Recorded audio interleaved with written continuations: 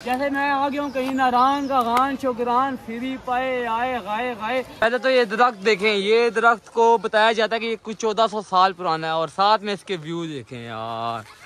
वाह इतनी बड़ी बड़ी मछलियाँ मिलेंगी यार देखो कैसा ज़बरदस्त नज़ारा है। मैं जब भी कभी इस्लामाबाद के करीब कुछ प्लान करता हूँ तो मैं यहाँ पे आ जाता हूँ। यार, मुझे यहाँ की वाइब्स बहुत पसंद है। और अगर आप भी मेरी तरह स्विमिंग का शौक रखते हैं तो जब आप इसके ठंडे पानी से नहाएँगे तो मेरी तरह बार बार आएँगे। अगर बात की जाए इसके रास्ते की तो इस्लामाबाद से टू वर्ड्स फिर पिरसुहावा की तरफ़ जाना होता है, मोनाल और डैनो वैली को क्रॉस करते ही ये बाज़ार आएगा, जिसे सांगड़ा बाज़ार कहा जाता है। और यहाँ से टर्न होता है इसका। खर या नीला बुतों का बोर्ड लगा होगा। मेन रोड को छोड़ के नीचे की तरफ़ जाना होता है।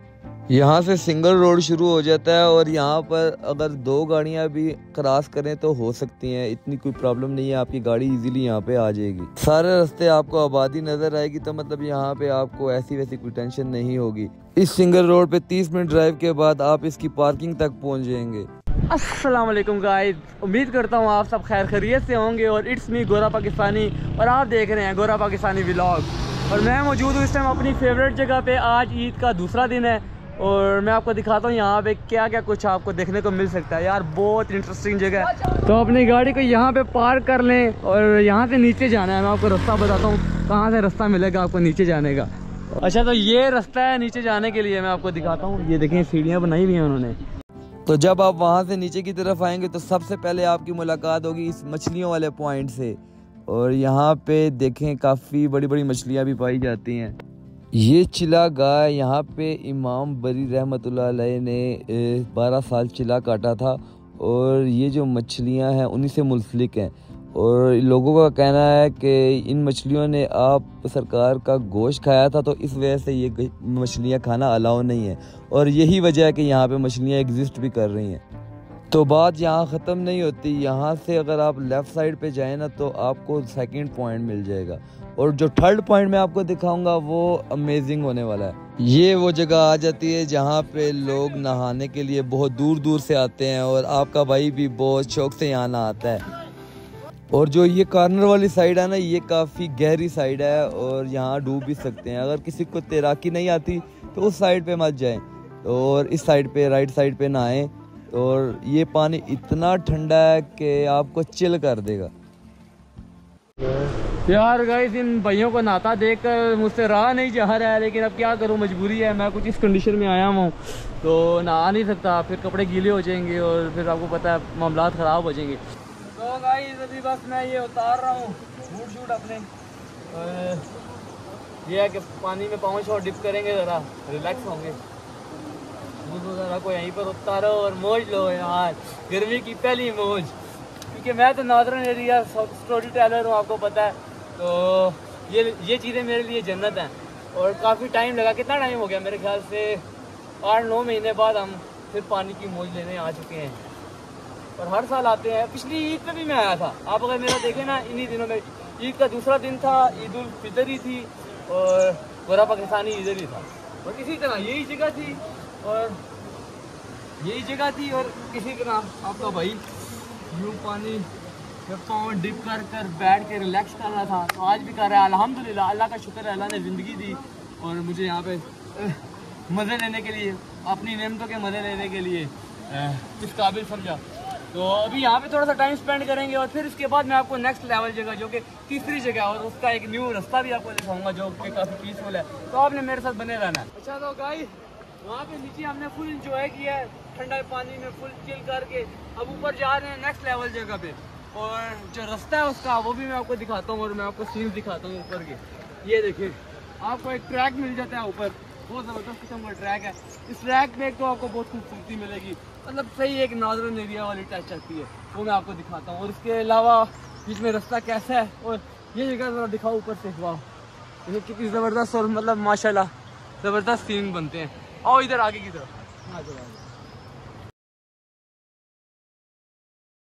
इस ट्रैक पे आके आपको काफ़ी पीसफुल वाइब्स मिलती हैं।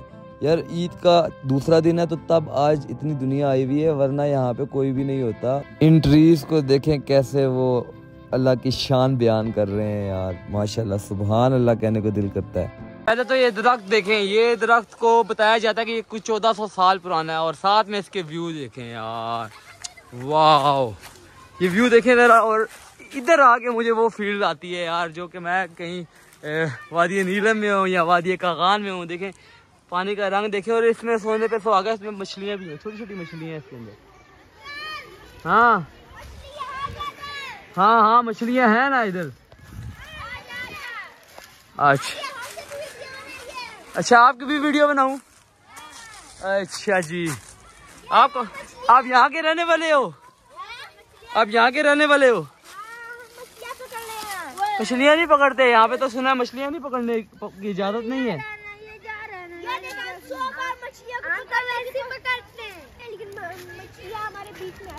नहीं आती है। तो तुम ये बताओ कि तुम यहाँ पे रहने वाले मछलियाँ ये वाली खाते हो? हाँ, खाते हैं। खाते हो? हाँ। यहाँ तो हमें बताया गया कि मछलियाँ खाना मना है। क्यों खाना मना है? हैं? क्यों मना है? अच्छा। हमको तो कुछ भी नहीं बोलते। अच्छा आप खाते हो यहाँ पे मछली खाते हैं हैं? खाते हैं। सही बताओ ना। हाँ, कहाँ से आए? कहाँ से आए हो? कहाँ से आए हो। हाँ, कोयटे से। हो तो आप यहाँ के नहीं हो ना बेटा यहाँ पे मछलियाँ खाना मन है। मछलियाँ नहीं खा है तो हैं। ये छोटी छोटी मछलियाँ जी यहाँ पे। और इधर से आगे वो जगह मैं नेक्स्ट लेवल जगह आपको बता रहा हूँ ना वो इससे आगे है। तो वो मैं आपको दिखाता हूँ। ये जगह मुझे बहुत पसंद है। पर्सनली ये मेरी फेवरेट प्लेस है। यहाँ पे हम लोग बैठते हैं खाना शाना बनाते हैं और ये व्यू को एंजॉय करते हैं साथ में। तो मैं अब आपको दिखाऊँगा जो कि नेक्स्ट लेवल जगह वहाँ पे मुझसे बड़ी बड़ी मछलियाँ हैं वहाँ पे। आपको उधर मेरे फेवरेट स्पॉट से 10 मिनट हाइक करने के बाद आपको ये एक तालाब मिल जाएगा, जिसमें आपको इतनी बड़ी बड़ी मछलियाँ मिलेंगी। यार, देखो, कैसा ज़बरदस्त नज़ारा है। जब ये बंदा अपनी आम आँख से देखता है ना तो पता लगता है, यार, ये मैं क्या देख रहा हूँ? यार, ये रियल है। और वाह, माशा, वो देखें, बीच में कितना बड़ा पीस जा रहा है। और ये काफ़ी बड़े बड़े हैं, ये मुझसे बड़े भी हैं। इस मछलियों का ये सीन है कि यहाँ बताया जाता है कि इन मछलियों को खाना नहीं है। तो इसका तो आप बला आलम क्या चक्कर है, ये मैं भी इसमें काफ़ी कॉम्प्लिकेटेड हूँ। तो क्यों नहीं खाना चाहिए क्योंकि ये तो हमारे लिए एक नेमत है। लेकिन अगर ये खाने की इजाज़त होती तो यहाँ पे ये एग्जिस्ट ना कर रही होती। तो इनका एग्जिस्ट होना यहाँ पे मछलियों का, ये साबित करता है कि यहाँ पे मछली खाना मना है। बाकी आपकी क्या राय है, वो मुझे कमेंट में बताइएगा। और अगर ये वीडियो इन्फॉर्मेटिव लगी है, एक अच्छी जगह लगी है अच्छा स्पॉट लगा है पिकनिक के लिए, क्योंकि मुझे तो ये फेवरेट लगती है यार। मैं जब भी इस्लामाबाद के करीब कुछ भी जगह ढूंढता हूँ तो मैं कहीं पर भी नहीं जाता, इधर ही आता हूँ। क्योंकि इधर बहुत ब्यूटी मिलती है, बहुत से पॉइंट्स हैं जो कि मैंने आपको दिखाए हैं। तो इस पे मेरा एक सब्सक्राइब बनता है अगर आप लोग मुझे नहीं जानते तो मैं हूँ गोरा पाकिस्तानी ट्रैवलिंग ब्लॉगर हूँ। और अभी मैं जा रहा हूँ कल अ, बल्तिस्तान सीरीज़ मेरी स्टार्ट होगी हुंजा जाएँगे स्कर्दू जाएँगे।